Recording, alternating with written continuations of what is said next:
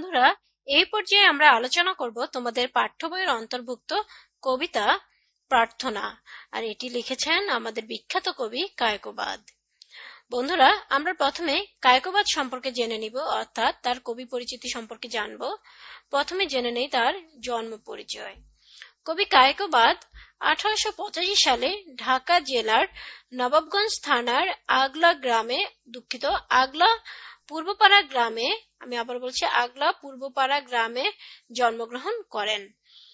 অর্থাৎ কবি কায়কবাদ আঠারোশো সালে ঢাকা জেলার নবাবগঞ্জ থানার আগলা পূর্বপাড়া গ্রামে জন্মগ্রহণ করেন।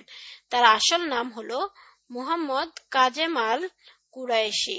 বন্ধুরা, কায়কবাদের আসল নাম হলো মোহাম্মদ কাজেম আল কুরাইশি। তার শিক্ষা ও পেশা জীবন সম্পর্কে আমরা জানব। তিনি প্রবেশিকা পর্যন্ত পড়ালেখা করে ডাক বিভাগে চাকরি নেন। দীর্ঘদিন ধরে তিনি নিজ গ্রামে আগলাতেই পোস্টমাস্টারের দায়িত্ব পালন করেন। তার সাহিত্যকর্মের মধ্যে উল্লেখযোগ্য হল তার মহাকাব্য, অর্থাৎ বাংলা সাহিত্যের বিখ্যাত মহাকাব্য মহাশ্মশান। আর তার কাব্যগ্রন্থ হল অশ্রুমালা শিব মন্দির অমিয় ধারা মোহরম শরীফ। এগুলো হলো তার উল্লেখযোগ্য কাব্যগ্রন্থ। তার সাহিত্য সাধনা হলো, ছেলেবেলা থেকেই কবিতা লেখায় তার হাতে করি হয়। তারপর আপন স্বভাবে তিনি ক্রমাগত লিখে গেছেন।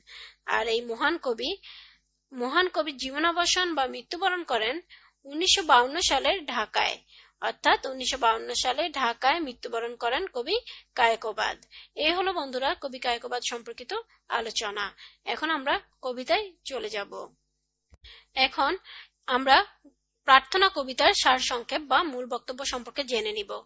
প্রার্থনা কবিতাটি কবির অশ্রুমালা কাব্যগ্রন্থ থেকে সংকলিত হয়েছে। আমি আবারও বলছি বন্ধুরা, প্রার্থনা কবিতাটি কবির অশ্রুমালা কাব্যগ্রন্থ থেকে সংকলিত হয়েছে।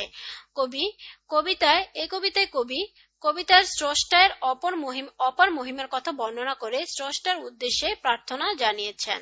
কবি ভক্তি বা প্রশংসা করতে না জেনেও কেবল চোখের জলে নিজেকে নিবেদন করেন। বিপদে, আপদে, সুখে, শান্তিতে সব সময় তিনি বিধাতার কাছে, কাছ থেকে শক্তি কামনা করেন। গাছে গাছে পাখি, বনে বনে ফুল সবই বিধাতাকে স্মরণ করে।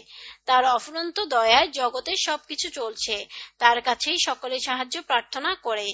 তার অপার করুণা লাভ করেই বিশ্ব সংসারের প্রতিটি জীব ও উদ্ভিদ প্রাণ ধারণ করে আছে। তার দয়া ছাড়া আমরা এক মুহূর্ত চলতে পারি না। সুখে, দুঃখে, শয়নে, স্বপনে তিনি আমাদের একমাত্র ভরসা। আমরা রিক্ত হস্তে পরম ভক্তি ভরে তার কাছে প্রার্থনা জানাই, হে প্রভু, আমাদের দেহে ও হৃদয়ে শক্তি দাও। আমরা যেন তোমার আরাধনায় নিজেকে নিবেদন করতে পারি। এ হলো মূলত বন্ধুরা প্রার্থনা কবিতার মূল বক্তব্য। বন্ধুরা, এখন আমরা প্রার্থনা কবিতার সৃজনশীল প্রশ্ন নিয়ে আলোচনা করব। প্রথমে আমরা উদ্দীপক দেখে নেই, একটি উদ্দীপক দেখে নেই। উদ্দীপকটিতে রয়েছে, নম্র শিরে সুখের দিনে তোমারই মুখ লইব চিনে, দুঃখের রাতে নিখিল ধরা যেদিন করে বঞ্চনা, তোমারে যেন না করি সংশয়। এই উদ্দীপক আলোকে প্রশ্নগুলো দেখে নেই। প্রথম প্রশ্নটি রয়েছে, স্তুতি কথার অর্থ কি? বন্ধুরা, আমি আবার বলছি, স্তুতি কথার অর্থ কি? খ নম্বর প্রশ্নে রয়েছে, তোমার দুয়ারি আজ রিক্ত করে বলতে কবি কি বুঝাতে চেয়েছেন? গ নম্বর প্রশ্নে রয়েছে, উদ্দীপকের সঙ্গে প্রার্থনা কবিতার সাদৃশ্যপূর্ণ দিকটি ব্যাখ্যা করো। ঘ নম্বর প্রশ্নে রয়েছে, উদ্দীপকটি প্রার্থনা কবিতার একটি বিশেষ দিককে, আমি আবার বলছি বন্ধুর, উদ্দীপকটি প্রার্থনা কবিতার একটি বিশেষ দিককে নির্দেশ করল, সমগ্র ভাব প্রকাশে সক্ষম নয়। এই যুক্তি সহ বিশ্লেষণ করো। এ হলো মূলত এই উদ্দীপকের আলোকে প্রশ্নগুলো। আমরা এখন প্রশ্নগুলোর উত্তর কেমন হতে পারে তা দেখে নিব, অর্থাৎ প্রশ্নগুলোর উত্তর নিয়ে আলোচনা করব। ক নম্বর প্রশ্নের উত্তর হলো, স্তুতি কথার অর্থ হলো প্রশংসা। আমি আবারও বলছি বন্ধুরা, স্তুতি কথার অর্থ প্রশংসা। খ নম্বর প্রশ্নের উত্তর হলো, তোমার দুয়ারে আজ করে বলতে কবি বুঝাতে চেয়েছেন, নিজের সমস্ত অহংকার ও বাসনা থেকে মুক্ত হয়ে তিনি স্রষ্টার কাছে প্রার্থনা করেছেন। কবি নিজেকে নিঃসম্বল হিসেবে আখ্যায়িত করে বলেছেন, তিনি ভক্তি জানেন না, কারও প্রশংসা করার মতো অভিজাত ভাষাও তার নেই, কিন্তু আছে পরম শক্তিমান স্রষ্টার প্রতি এক অপ্রতিরোধ শ্রদ্ধা ও বিশ্বাস। তাই নিজের দীনতা আর ক্ষুদ্রতা বোধ নিয়ে নিঃস্ব কাঙালের মতো তিনি স্রষ্টার মুখোমুখি হয়েন। গ নম্বর প্রশ্নের উত্তরে দেখি, বিপদের দিনে স্রষ্টাকে স্মরণ ও শ্রদ্ধার দিক থেকে উদ্দীপকের সঙ্গে প্রার্থনা, কবিতার সাদৃশ্য রয়েছে। স্রষ্টার প্রতি বিশ্বাস মানুষে, মানুষকে অন্তর থেকে শক্তিমান করে তোলে। দুঃখের দিনে তাকে স্মরণ করলে দুঃখের দহন প্রশমিত হয়। উদ্দীপকে সুখের দিনে স্রষ্টাকে চিনে নেওয়ার প্রতিশ্রুতি ব্যক্ত হয়েছে। সাধারণত সুখের দিনে মানুষ পরম করুণাময় সৃষ্টিকর্তাকে ভুলে থাকে, আর দুঃখের দিনে তার অস্তিত্বের প্রতি সংশয়পন্ন হয়ে পড়ে উদ্দীপকে দুঃখের সময় সমগ্র পৃথিবী তার প্রতি বিমুখ হলেও কবি যেন স্রষ্টার প্রতি সন্ধিস্থ না হন সেই প্রার্থনা করেছেন।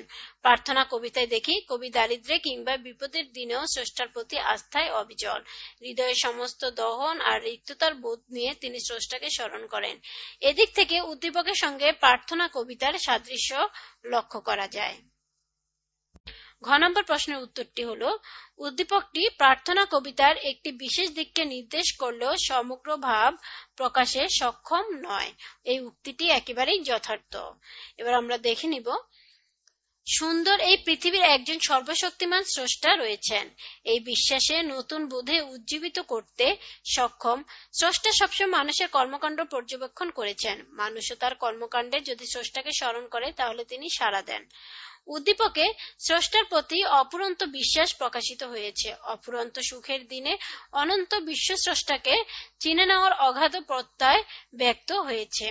অশেষ দুঃখের দিনে যাতে তার প্রতি সংশয় জেগে না উঠে, সেই প্রত্যাশাও এখানে প্রতিফলিত হয়েছে। অন্যদিকে প্রার্থনা কবিতার মূল বিষয় হল, মূল বিষয় মূলত স্রষ্টার প্রতি অবিচল আস্থা ও বিশ্বাস। কবিতার দারিদ্রে দুঃখে, বিপদে স্রষ্টার কাছে প্রার্থনায় নত হন। এছাড়াও প্রার্থনা কবিতায় দেখা যায়, সমগ্র বিশ্ব সৃষ্টি স্রষ্টার অস্তিত্বের প্রমাণ স্বরূপ উপস্থিত যা উদ্দীপকে সম্পূর্ণভাবে ফুটে ওঠেনি। তাই বলা যায়, উদ্দীপকটি প্রার্থনা কবিতার একটি বিশেষ দিককে নির্দেশ করলেও সমগ্র ভাব প্রকাশে সক্ষম নয়। এই উক্তিটি একেবারে যথার্থ। বন্ধুরা, এবার আমরা প্রার্থনা কবিতার আলোকে আরেকটি উদ্দীপক দেখে নিব। চলো উদ্দীপকটি দেখে নেই। সৃষ্টির মাঝে মিশে আছো তুমি, স্রষ্টা মহিয়ান। এই ফুল, ফল, নদী, নালা, জল, সবই তো তোমার দান। উদ্দীপকের আলোকে সৃজনশীল প্রশ্নগুলো হলো, স্রষ্টার প্রসাদ কোনটি? খ নম্বর কোশ্চেন হলো, প্রশ্ন হলো, সদা আত্মহারা তব গুণগানে কেন বলা হয়েছে? গ নম্বর প্রশ্ন হলো, উদ্দীপকের সঙ্গে প্রার্থনা কবিতার সাদৃশ্য কোথায়? ব্যাখ্যা করো। ঘ নম্বর প্রশ্ন হলো, সৃষ্টির মাঝে স্রষ্টাকে পাওয়া যায়। উদ্দীপক প্রার্থনা কবিতার আলোকে তোমার মতামত দাও। বন্ধুরা, এখন আমরা এই প্রশ্নগুলো নিয়ে আলোচনা করব। বন্ধুরা, ক নম্বর প্রশ্নের উত্তর হলো, স্রষ্টার প্রসাদ, ফুল ও ফল। খ নম্বর প্রশ্নের উত্তর হলো, সদা আত্মহারা, তব গুণগান। উক্তিটিতে মূলত, পাখির গুঞ্জনকে স্রষ্টার গুণগান হিসেবে আখ্যায়িত করা হয়েছে। কবি প্রকৃতির মাঝে স্রষ্টার উপস্থিতি তীব্রভাবে উপলব্ধি করেন। ফুল, ফল, তরুলতা, জল যেন প্রভুর মূর্তিমান দানের প্রতীক হয়ে উঠে তার কল্পনায়। তার কাছে মনে হয় সমগ্র সৃষ্টি যেন স্রষ্টার প্রার্থনায় নিমগ্ন। তাকে ভুলে থাকলে মনে অবসাদ তৈরি হয়। জগতে স্রষ্টার মহিমার কোনো অন্ত নেই। তাই প্রকৃতি যেন স্রষ্টার গুণগণে আত্মহারা। গ নম্বর প্রশ্ন উত্তরে দেখি। উদ্দীপকের সঙ্গে প্রার্থনা কবিতার সাদৃশ্য মূলত সৃষ্টির মধ্য দিয়ে স্রষ্টাকে উপলব্ধি করার গভীরতায়। স্রষ্টা যেন সৃষ্টির মধ্য দিয়ে আত্মপ্রকাশ করেন। জগতের অনন্ত সুন্দর সৃষ্টির দিকে তাকালে আর অদ্ভুত নিয়মানুবর্তিতার মধ্য দিয়ে গ্রহ নক্ষত্রের চলাচল প্রত্যক্ষ করলে স্রষ্টাকে অস্বীকার করার উপায় থাকে না। উদ্দীপকে দেখা যায়, সৃষ্টির মধ্যে মহিয়ান স্রষ্টা মিশে একাকার হয়ে আছেন।